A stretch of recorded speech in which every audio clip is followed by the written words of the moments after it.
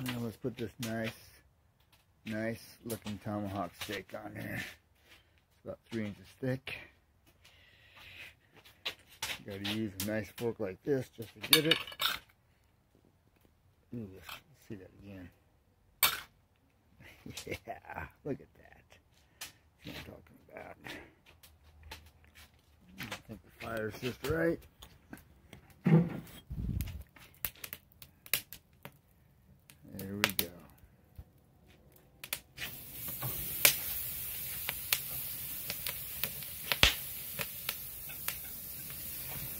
That's what we're talking about. Look at the sizzle. Beautiful. Gotta be nice and sizzled by now. Ooh. Yeah, that's how I like her.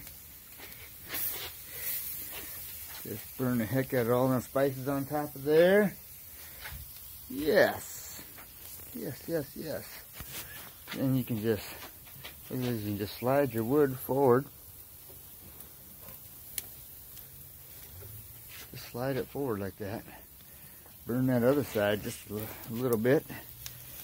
Because then it's just gonna, then you're just gonna put a probe in it and let it bake after that.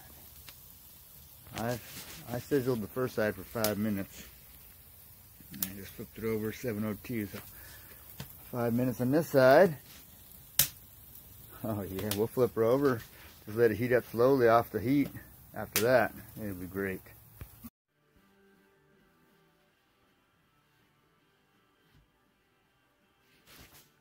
That is beautiful.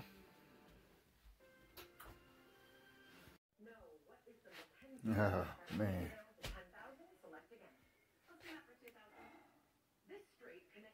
That was a good meal. And just perfectly cooked.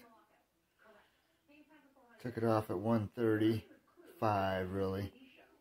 And it didn't take long at all sitting on the counter to be done. Next time I think I'll take off a little sooner.